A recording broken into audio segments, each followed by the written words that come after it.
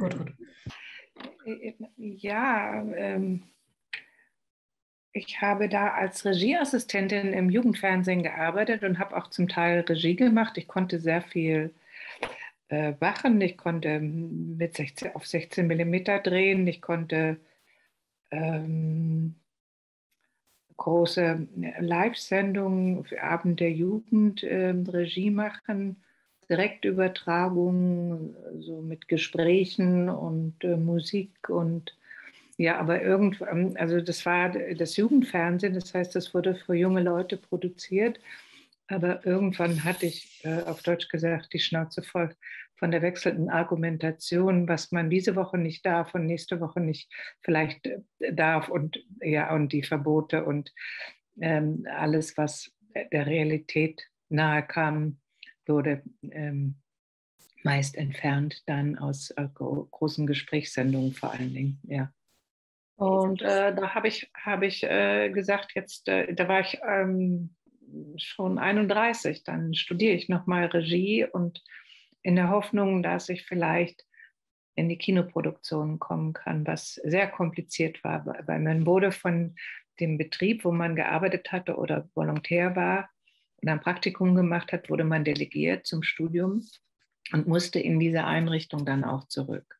Ähm, ja, aber ich hatte die Hoffnung, vielleicht äh, gelingt das dann doch äh, zu wechseln, was ähm, spontan aber nicht gelang. Ich habe nach vielen Gesprächen im, im, im Fernsehen, habe ich dann nach vier Jahren Studium ähm, die Delegierung zurückgegeben und habe mich freigesetzt, was sehr ungewöhnlich war. Also ich hatte dann keine Arbeit erstmal. Ja, und äh, äh, aber an der Filmhochschule konnte ich halt das erste Mal machen, was ich wollte. Also ich konnte, es war nur vorgegeben, dass die erste Übung ist eine dokumentarische Beobachtung, die zweite, also stumm, ohne, man hat ohne Ton gearbeitet. Das zweite ist eine, eine Spielfilmübung auch und der Ton wurde zusätzlich gearbeitet, danach erst gearbeitet, also ohne Ton gedreht und die Tonbearbeitung. Ja, und das war diese, diese, es waren diese technischen Vorgaben, ähm, und man konnte 16 mm drehen, 35 mm drehen. Die einzig waren die technischen Vorgaben, aber eigentlich konnte ich bestimmen, äh, was, äh, ja, was der Inhalt ist von, von, dieser, von diesen einzelnen Übungen. Und das war für mich nach meinen Fernseherfahrungen eine große Befreiung. Ja, und dann habe ich halt nach dem ähm, Nachdem ich bei einem Fernsehen gekündigt hatte, also nicht dahin gegangen bin, hatte ich keine Arbeit und habe gejobbt in, der, in dieser Fotogalerie, in dieser Galerie, die vordringlich, hatte ich gestern schon darüber berichtet, die vordringlich Fotografie ausgestellt hat. Weil äh, da hatte ich auch ein Telefon, was ich sonst nicht hatte. Und äh, habe diese Fotografen alle und auch andere Künstler, er hat natürlich auch zeitgenössische bildende Kunst ausgestellt. Ich habe immer Bilder gerahmt mit und Bilder gehangen und war, während der Chef dann unterwegs war, um Sachen zu organisieren, neue, Neues kennenzulernen, habe ich dann die Aufsicht gemacht in dieser Galerie und hatte ein Telefon und hatte da äh, also, also Verbindung zur Welt dann sozusagen auch. Und die einzige Tür, die sich dann öffnete, war die Tür vom DEFA Dokumentarfilmstudio. Ich konnte halt dann Aufträge, ähm, ich bekam Aufträge dort für diese kurzen Filme, die gestern gezeigt wurden, also einige davon. Und konnte diese Aufträge aber zu meinem eigenen Auftrag machen. Ja, und äh, ich hatte gestern erzählt, wie es zu Winter AD kam. Und ähm, ich habe glaube ich, 85 angefangen, Konzeptionen zu schreiben. Das war nicht so leicht, das, ähm, die Freigabe zu bekommen, aber letzten Endes haben wir dann ab 86, 87 gedreht, bis der Film mit 88 fertig war, aber immer in Etappen. Ich, immer, ich äh, war auf Recherche und habe jemand kennengelernt und dann sind wir also mit Kameramann und Tonmann und Assistent dann losgezogen und ähm, haben gedreht und haben Material gesammelt über zwei Jahre und auch immer ähm, das montiert, dann die jeweiligen Gespräche. Ganz oft haben wir auch nur Fahrtaufnahmen. Wir sind also von dort nach Süden mit der Eisenbahn gefahren und haben diese Fahrtaufnahmen ähm, gedreht. Ja, und haben das montiert und 1988 war der Film fertig.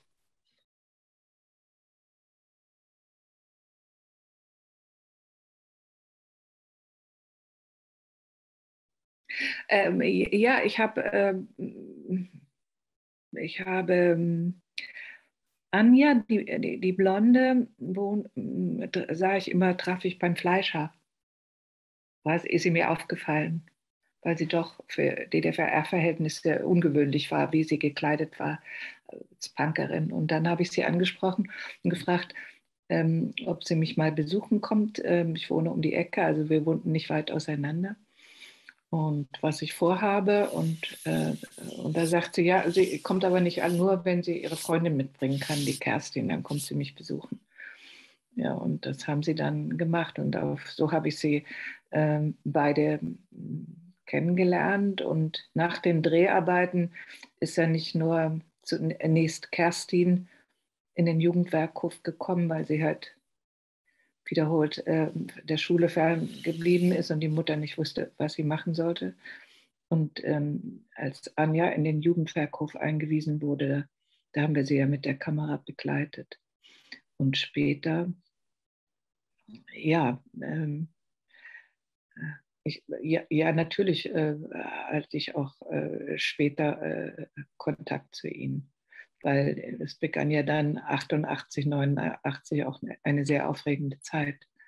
Also sie waren beide im Jugendwerk Köfen, sie wurden dann aber 89 auch entlassen und kamen zurück in, in, in, ins Leben. Und Anja hatte ich geholfen, sie wollte Kopierwerksfacharbeiter werden, dass sie im DEFA Kopierwerk kriegte sie eine Lehrstelle, die sie angetreten hat, aber dann ähm, ist sie noch 89, glaube ich, im September, ist sie noch über die CSSR äh, in den, ab, ab, also weggeblieben und um in den Westen zu gehen.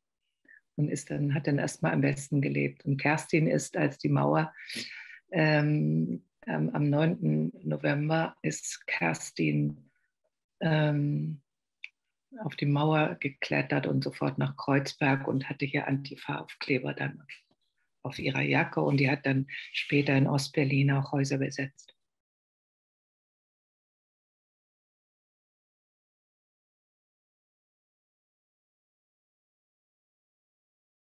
Ja, na, es war ähm, sehr widersprüchlich, sehr, auch sehr erstaunlich.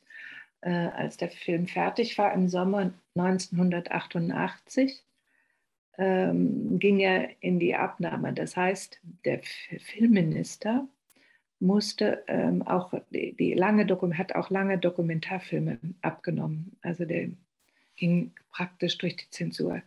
Und ähm, der Filmminister kam, das Team war anwesend, Kamera, Schnitt, wir saßen da alle und Freunde. Man hatte auch, es war wie ein kleines Kino im Dokumentarfilmstudio in Berlin. Und wir saßen da alle natürlich erwartungsvoll und der Minister kam nicht alleine, sondern mit so sechs, sieben Herren, alles Subalterne, ältere Herren, die in der ersten Reihe Platz nahmen und ihre Hefte zückten und ihre äh, Bleistifte und Schreibüben und fleißig mitgeschrieben haben, während der Film gezeigt wurde. Und dann war der Film zu Ende. Dann stand der Filmminister auf drehte sich um zu uns und sagte, ähm, er findet den Film ein bisschen zu lang, ein bisschen zu lang, aber er wüsste auch nicht, wo man ihn kürzen könnte. Und er entschuldigt sich, keine Frau zu sein. Das war alles und ist zur Tür rausgegangen, hat den Raum verlassen. Und äh, dann war erstmal großes Schweigen, weil die alle, die in der ersten Reihe, die mit ihm gekommen waren, seine Untergebenen aus der Hauptverwaltung Film, die saßen da mit ihren äh, vielen äh, Schriftstücken und wussten nicht, was sie jetzt machen sollten damit. Der Film wurde dann vom DEFA Dokumentarfilmstudio in den Wettbewerb geschickt nach Leipzig zum Internationalen Dokumentarfilmfestival im Oktober, November 88. Und das war natürlich das, äh, das, das war sensationell. Ich glaube, dass man so eine Vorführung nur einmal im Leben hat und nie wieder. Das hat natürlich auch was mit den Umständen zu tun. Weil ähm, in Leipzig waren alle Diskussionen nach Filmen, die es sonst gab. Äh, in diesem großen Kino oben im Petershof gab es immer große Diskussionsrunden, zum Teil auch mit Radioübertragungen. Und das war alles abgesagt. Es gab keine Diskussionen. Es war ähm, es war davor, waren zum Beispiel diese, eine, eine Publikation ähm, Sputnik, ein, ein sowjetisches äh, Magazin, äh, eine Art Reader's Digest, also aus der Sowjetunion, war aus dem Verkehr gezogen worden. Sowjetische Filme wurden, kamen nicht in, in die Kinos.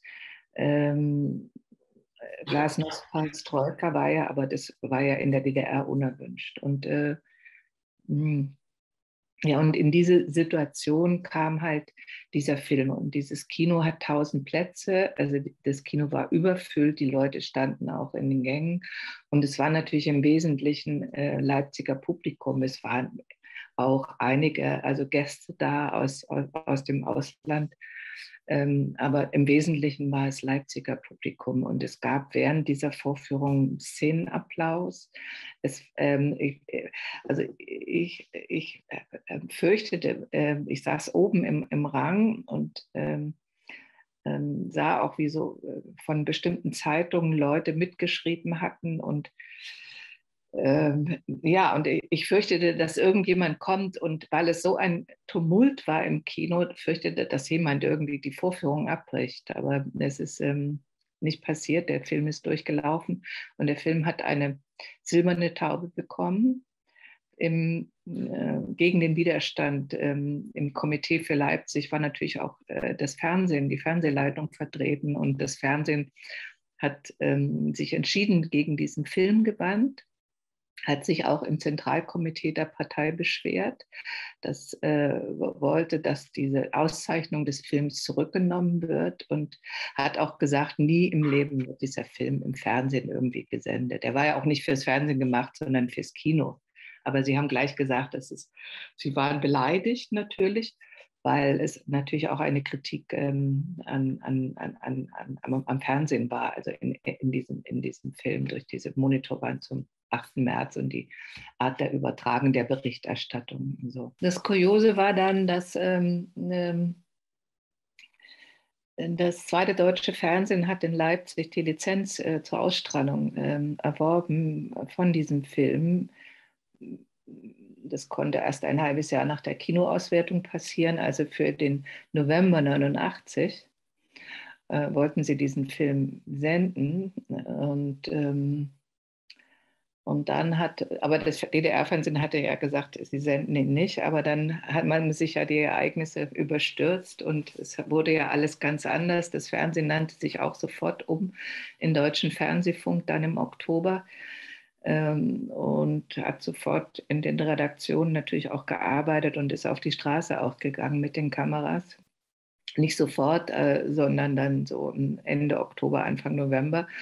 Und dann hatten sie den großen Ehrgeiz, vor dem ZDF diesen Film zu senden und haben ihn also äh, ein paar Tage vor dem ZDF äh, dann ausgestrahlt, um zu zeigen, also wie, wie sie doch äh, auch jetzt ähm, sich geändert haben. Und ja, und ich war aber so misstrauisch, dass ich die ganze Zeit vor dem Fernsehapparat gesessen habe und gedacht habe, was haben die mit dem Film gemacht? Haben die da was rausgeschnitten? Ich habe, hatte ein so großes Misstrauen. Ich habe es nicht geglaubt, dass sie es wirklich senden.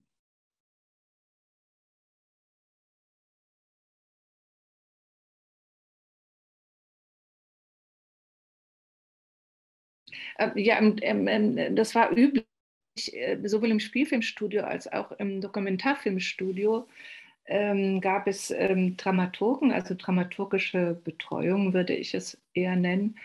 Also die einen erstens mal ähm, mehr oder weniger unterstützt haben, ein Exposé zu verfassen oder dann in der Montage beraten haben, äh, dramaturgisch beraten haben. Also ähm, in, die, in, diesem Falle war, es, äh, war die Beratung weniger, weil uns der Dramaturg also eigentlich auch sehr vertraut hat. Der war gleichzeitig auch der Gruppenleiter, der diesen Film ermöglicht hat.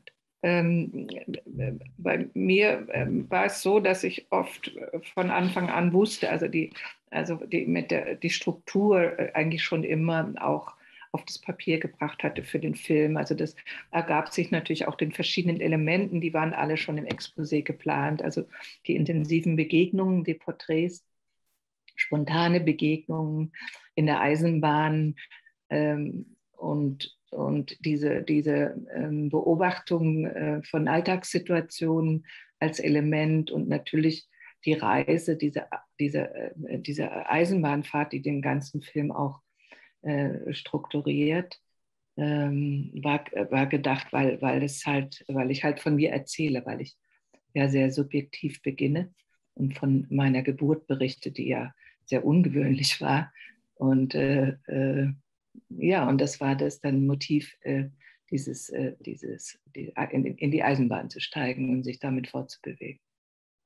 Und dann zum Drehverhältnis. Ähm, es war so, dass, äh, dass natürlich ähm, das die, die Kalkulation äh, war, äh, die Vorgabe waren 90 Minuten äh, für das Kino herzustellen. Schwarz-Weiß-Material. Ähm, und das Drehverhältnis war in der Regel, also das, so war es auch in der Kalkulation 1 zu 6. Also wir haben ja auf 35 Millimeter gedreht. Und die Kassetten waren ja nie länger als äh, drei, äh, drei bis vier Minuten.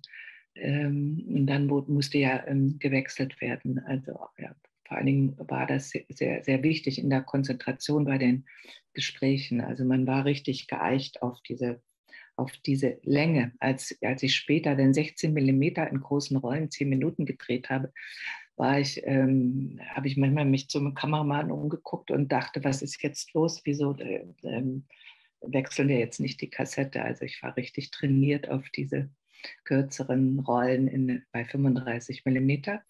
Und wir haben auch nicht mehr als ähm, Drehverhältnis 1 zu 6 gedreht, sind natürlich nicht 90 Minuten, sondern fast zwei Stunden geworden. Ja, hm. Ja also ähm, es gab Reste natürlich, äh, die ich dann ähm, in den Wirren 89, 90, als vieles vernichtet wurde, Material, habe ich ähm, etliches noch vom Müll geholt und ähm, aufbewahrt und äh, bin gerade dabei, nochmal in diese Reste reinzuschauen und ob man, was man noch damit machen könnte. Es gibt keine, keine Gespräche. Es gab noch ein Gespräch, was nicht in den Film Einzug gefunden hat. Das war eine Frau in einer leitenden Position, die ähm, sehr auf ihr Prestige bedacht war und ängstlich war und ähm, nicht offen war. Und das haben wir dann nicht in den Film genommen. Aber die anderen Reste sind, also das habe ich dann auch ganz schnell vernichtet, das Material. Aber sehr viele Fahrten durch ähm, eine ganze Rolle, durch Bitterfeld zum Beispiel, diese Gegend, wo, wo Chemie war und, und, ähm, und ähm, die Filmherstellung und große, große Industrieanlagen, wo, fast, wo man fast nur durch Nebel fährt. Das, sowas existiert noch und ja, verschiedenes, sehr viele Fahrtaufnahmen und so, so bestimmte episodische Beobachtungen, so, sowas gibt es noch. Ich weiß es aber auch nicht mehr genau, was da eigentlich noch da ist und will mir das jetzt angucken. Noch was draus machen diese, diese Erfahrung, die ich gemacht habe, oder diese Schule eigentlich, ähm, die Schule mit 35 Millimeter zu drehen, weil es ja teures Material ist äh, und halt so beschränkt äh, und man sich äh, übte die Konzentrationsfähigkeit und natürlich auch, man war ganz anders vorbereitet, wenn man auch im Dokumentarfilm, natürlich hat man äh, manchmal auch lange gewartet, bis sich etwas ereignete. Und wenn sich was ereignete, dann hat man natürlich gedreht, gedreht, gedreht. Und man hat aber nicht irgendwie die Kamera aufgestellt und angeschaltet und äh, gesagt, mal sehen, was passiert. Nein, man hat reagiert auf etwas. Also man hat, äh, man hat, es hat, man war sehr geübt, geduldig zu sein, auf etwas zu warten und im richtigen Moment zu drehen und dann auch wieder großzügig zu sein und das und das Material wirklich dann auch intensiv und viel Material durchlaufen zu lassen. Also es war dieses, diese Art, äh, diese, diese Art mit 35 mm zu arbeiten, war eine sehr gute Schule. Anders als heute, wenn man mit Video anfängt.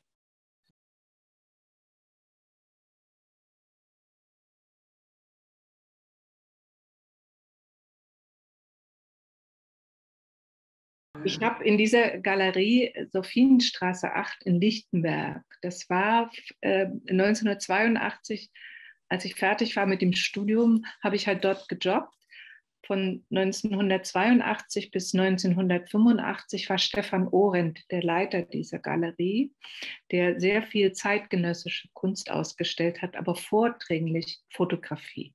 Also diese großartigen Fotografinnen und Fotografen, die es ja ähm, die ja heute auch, äh, wie, Sie wissen, äh, weltweit ähm, ausgestellt werden und auf, auf Tour gehen, die habe ich ähm, dort, äh, dort kennengelernt und habe ihre, ja, und daraus sind Freundschaften auch entstanden und weitere Arbeiten und Arbeiten auch über sie und mit ihnen. Also mit Stefan Orendt allerdings hat nach drei Jahren hat man ihm ähm, unter fadenscheinigen Gründen dann gekündigt. Also das, was er da gemacht hat. Er, hatte, er hat auch Sommerfeste organisiert, was sehr ungewöhnlich war für die DDR vor der Galerie auf der Straße.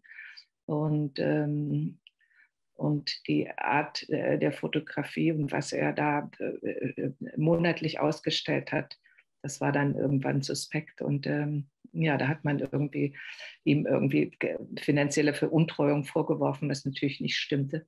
Unter diesem fadenscheinigen Format hat man ihn dann entlassen. Er ist dann irgendwann in den Westen gegangen und hat dann im Verlagswesen weitergearbeitet und ist leider auch sehr früh gestorben. Ja, und hat dann selber auch fotografiert und hat auch Reisen gemacht mit den Fotografinnen, die kannte er auch alle sehr gut. Ähm, ich habe also Gundula Schulze, der gestern gezeigt wurde, äh, El Daubi, ist ja ein, ein, ein Film mit, ihren, mit ihr und mit ihren Fotografien.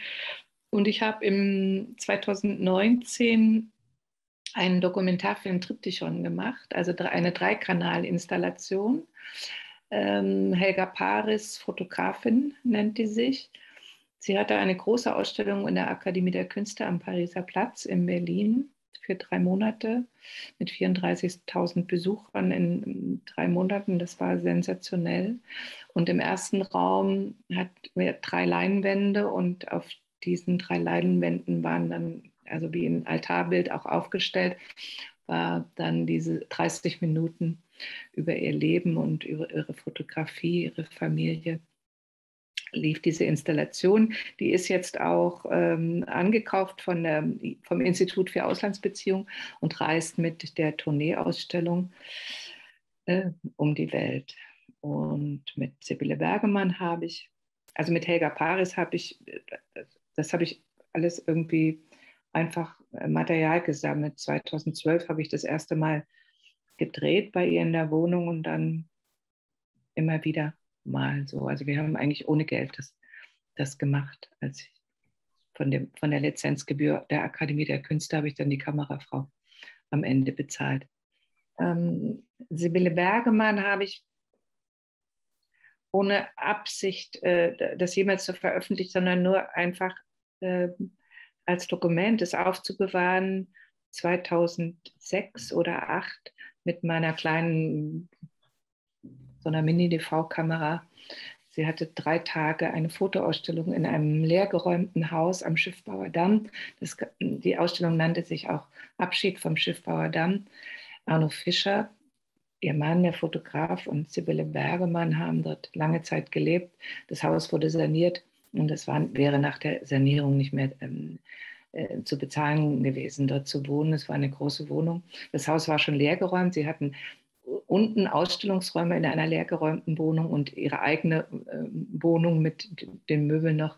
Das war auch freigegeben für Besucher und das waren irgendwie 5000 Leute, die an diesen drei Tagen das Trepp auf, Trepp ab und sich die Fotos da angesehen haben. Und da bin ich einfach mit der Kamera hin und habe mich hingestellt und ähm, habe diesen Ort, diese Schiffbauer Damm, den, den Bahnhof Straße und die, und die Spree, Polizeieinsätze, alles spiegelte sich in diesen, in, in, in diesen Reprodukt, äh, ja, in diesen, in diesen gerahmten Fotografien. Äh, Afrikanerinnen, Modefotos von Sibylle Bergermann äh, spiegelten sich dann plötzlich äh, die, die Polizei da, dem, da mit dem großen Wagen im Einsatz oder die Spree und Schiffe und ja, einfach die Kamera, da habe ich die Kamera laufen lassen. so und ähm, immer wieder die Perspektive geändert. Und ähm, neulich, jetzt gibt es gerade im Moment in Berlin eine große Ausstellung im, in der Berlinischen Galerie von Sibylle Bergemann. Und da kam eine Redakteurin von der Zeitschrift Geo und hatte gehört, dass ich das Material habe und wollte sich das angucken. Und da habe ich entdeckt, dass sich das doch einfach lohnen würde, vielleicht doch noch zu montieren und auch zu veröffentlichen. Und das habe ich jetzt auch vor. Abschied vom Schiffbauer Damm.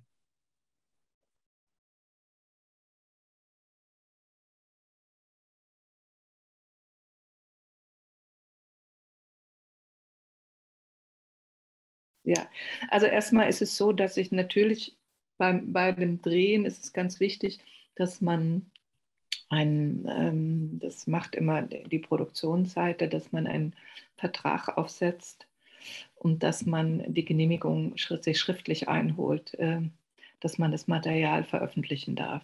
Also für diesen Zweck, zu dem man es dreht, natürlich. Also, äh, dass die Rechte für dieses Material äh, äh, also auf die Produktion ähm, über, übertragen werden. Ähm, das ist ein sehr wesentlicher Punkt. Und das andere ist natürlich, dass ich allen, die lebten und die, äh, die, die, es, die konnten, diesen Film vor der Veröffentlichung gezeigt habe, also den ganzen Film. Die haben diesen Film im Dokumentarfilmstudio genau in diesem Raum, bevor der Filmminister den Film gesehen hat. Oder war das, war es danach? Ich glaube, es war danach. Also als klar war, wir dürfen ihn veröffentlichen. Da wurden sie alle eingeladen, saßen in diesem Kino und das war die, Aufre das war die aufregendere Vorführung als die zur Abnahme mit dem Filmminister. Weil sie haben dann auch alle, ähm, es sind alle gekommen, bis auf Margarete Busse, die war verstorben, die Frau, die, die mit ihrer Diamanten Hochzeit feiert.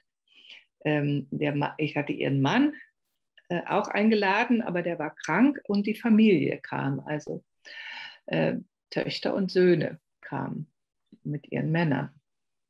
Und sie saßen alle da im Kino und immer, wenn jemand zu sehen war auf der Leinwand, hat man versucht, den auch irgendwie neben sich zu, zu finden und war dann sehr beruhigt, dass man irgendwie, dass man doch irgendwie, man hat sich so gewissermaßen im Publikum auch solidarisiert dann mit ihnen, also so stark gemacht.